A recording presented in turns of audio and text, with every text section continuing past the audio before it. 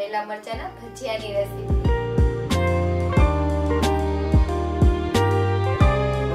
આજે આપણે અમુક ટીપ સાથે પરફેક્ટ કોટિંગ વાળું ભજીયાનું બેટર બનાવશું. સાથે ભજીયાનો એકદમ ફટાફટ બની જતો મસાલો અને ખાટી મીઠી ચટણી સાથે ચાલો રેસીપી શરૂ કરીએ.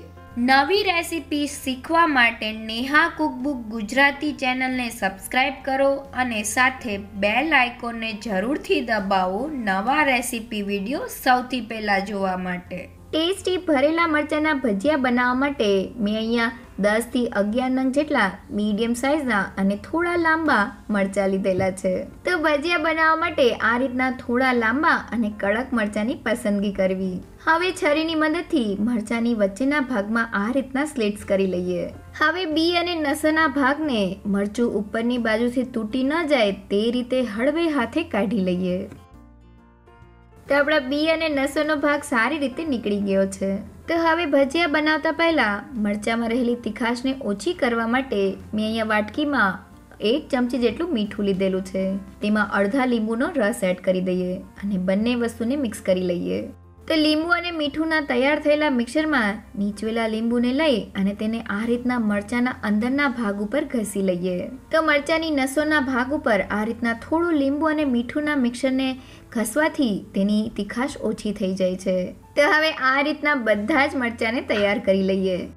તો હવે એકદમ પરફેક્ટ ભજીયાનું બેટર બનાવવા માટે મેં અહીંયા એક કપ જેટલો ચણાનો લોટ લીધેલો છે. તો માપ માટે તમે ઘરમાં રહેલી કોઈ પણ એક વાટકી સેટ કરી લ્યો અને તે વાટકી પ્રમાણે તમારે એક વાટકી જેટલો ચણાનો લોટ લેવાનો છે.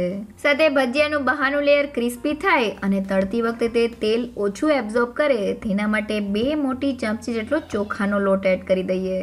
ચોખાનો લોટ નાખવો ટોટલી ઓપ્શનલ છે. તમે તેના વગર પણ બેટર બનાવી શકો છો. સાથે અડધી ચમચી જેટલો અજમાને હાથેથી ક્રશ કરીને એડ કરી દઈએ. સાથે વન ફોર ટીસ્પૂન જેટલી હિંગ. તો ભજીયાના બેટરમાં અજમો અને હિંગ એડ કરવાથી ભજીયા પચવામાં એકદમ હળવા રહે છે. સાથે વન ફોર ટીસ્પૂન જેટલો હળદર પાવડર સ્વાદ પ્રમાણે મીઠું એડ કરીને બધા જ મસાલાને લોટમાં સારી રીતે મિક્સ કરી લઈએ. તો આપણા મસાલા સારી રીતે મિક્સ થઈ ગયા છે. હવે મેં અહીંયા થોડું પાણી લીધેલું છે. તેને બેટરમાં એડ કરતા જઈને આપણે મરચાંના ભજીયા માટે થીક અને પોરિંગ કન્સિસ્ટન્સીવાળું બેટર બનાવી લઈએ. તો અહીંયા બેટર બનાવતી વખતે આપણે પાણીને થોડું થોડું જ એડ કરવાનું છે. કારણ કે આપણે બેટરને થોડું થીક રાખશું, તો જ તે મરચાંને સારી રીતે કોટ કરી લેશે. તો તમે જોઈ શકો છો કે કોઈ પણ જાતના ગાંઠા વગરનું આપણું આ રીતનું થીક એટલે કે જાડું બેટર તૈયાર થઈ ગયું છે.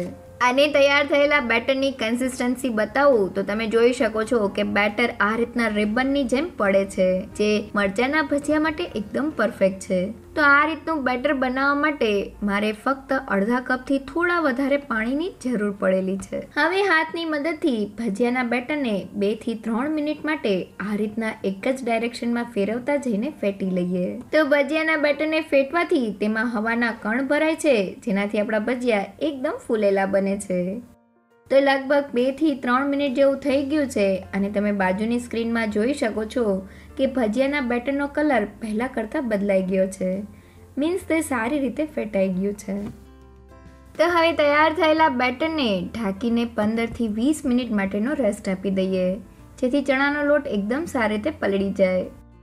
તો આપણું બેટર રેસ્ટ કરે છે, ત્યાં સુધી આપણે મરચાંની અંદર ભરવાનો એકદમ ટેસ્ટી અને ચટપટો મસાલો બનાવી લઈએ. તો તેના માટે મેં અહીંયા એક કપ જેટલું ખાટું મીઠું ચવાણું લીધેલું છે.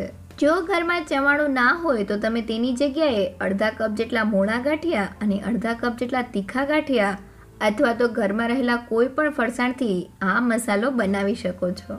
તો હવે ચવાણાને ખાયણી દસ્તામાં એડ કરીને કચરું ક્રશ કરી લઈએ. તો તમે આ પ્રોસેસ મિક્સર જારમાં પણ કરી શકો છો. બસ મિક્સરમાં ચવાણાને પલ્સ ઉપર એટલે કે ચાલુ બંધ કરીને ગ્રાઇન્ડ કરવું. તો આપણું ચવાણું ક્રશ થઈ ગયું છે અને તમે જોઈ શકો છો કે આ રીતનો અધ કચરો પાવડર તૈયાર થયો છે. તો હવે તેને મિક્સિંગ બાઉલમાં એડ કરી દઈએ. તો આ ચવાણામાં બધા જ મસાલા હોય છે, પણ જ્યારે આપણે તેને મરચાંમાં ભરીને ખાશું, તો તે થોડો ફીકો લાગશે.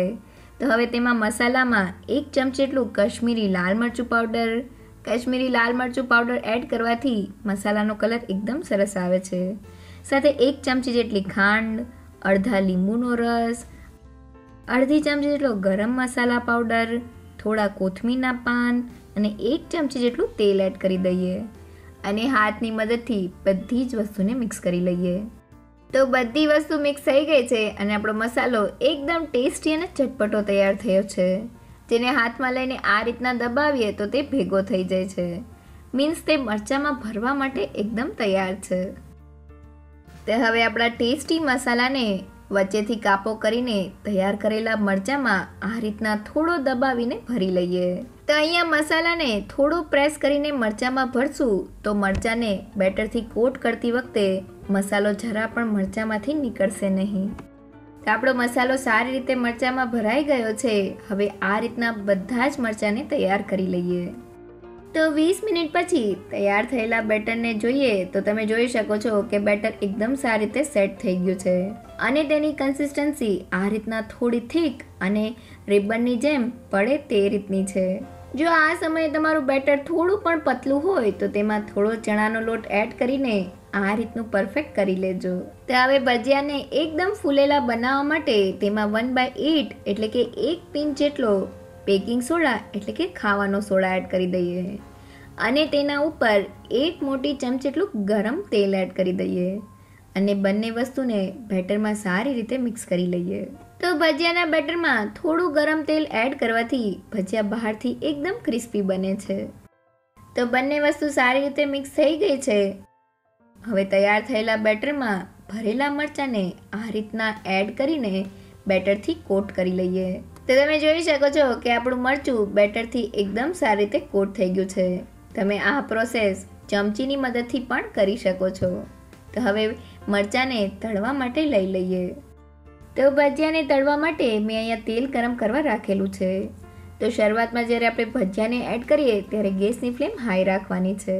તો હવે બેટરથી કોટ કરેલા મરચાંને ગરમ તેલમાં તળવા માટે એડ કરી દઈએ. તો ભજીયા તેલમાં એડ થયા પછી આપણે ઝારાની મદદથી તેને બંને બાજુ ફેરવતા જઈને ક્રિસ્પી અને ગોલ્ડન બ્રાઉન થાય ત્યાં સુધી તળી લઈએ.